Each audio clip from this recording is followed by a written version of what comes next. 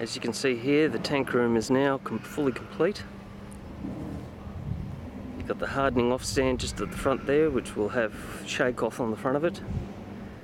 The two air cons have been installed one for the germination room, and one for the processing room. It's the entrance to the processing room.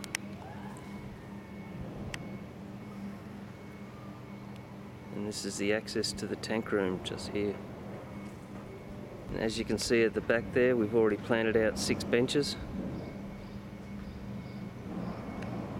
They have rocket, fancy lettuce. The next crop to go into will be sweet basil and red basil. Here we have the germination room. There's 230 seedlings on each shelf. Here we have sage. Next to that, sweet basil. These are all dated so we know how long they actually take to propagate. This can vary in various conditions. Mesclun mix, just a mixture of herbs as well as lettuce. There's frilly lettuce mix. And again, this room has a high output fluoros. 36 watts on each one. These will be doubled up later on down the track. The room in total was about 6 metres by 4 metres. Just a simple increment timer. As you can see the floor is painted with grey paving paint and is spotless which this room needs to be at all. Here we are in the tank room. There's two 5,000 litre tanks in the ground. I've switched the pump off for the moment just while I take this vision. The second tank over the back there is a, we put that in for the future expansion to strawberries. The rear of the room there you see all the pots and cubes, propagation material, nutrients. That's 12 months supply for this 24 bench system. Venturi and the pickup pipe.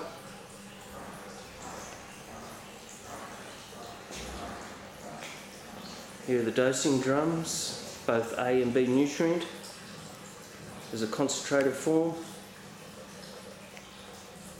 That's the pH drum. Currently dosing it to go down. Three quarter horsepower stay right.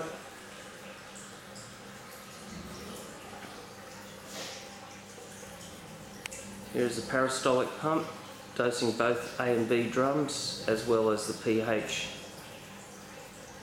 which is on, which is pump three on the right hand side there. Here's the main controller, Dosetronic from Bluelab. Here's the sample pot, which takes samples of the nutrient and the pH probe and conductivity probe will monitor that and adjust it accordingly. The sample pot also has a temperature probe in it as well. I'm not sure if you can be able to make it out, but there are, they are the values. We're shooting for an 8 CF and a 6.3 pH. The Dosetronic is in function mode with the thermometer to the left of the unit there. Venturi working here. Almost like a spa pool.